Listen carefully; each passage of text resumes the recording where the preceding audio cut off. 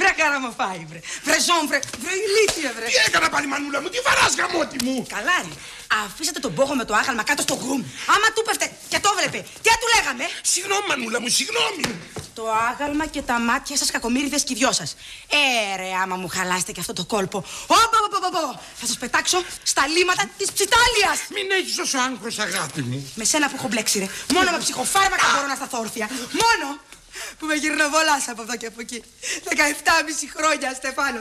17,5 χρόνια. Μην κάνεις έτσι μανούλα μου, θα σου έρθει τίποτα. Αλλά δεν φταίει κανένας.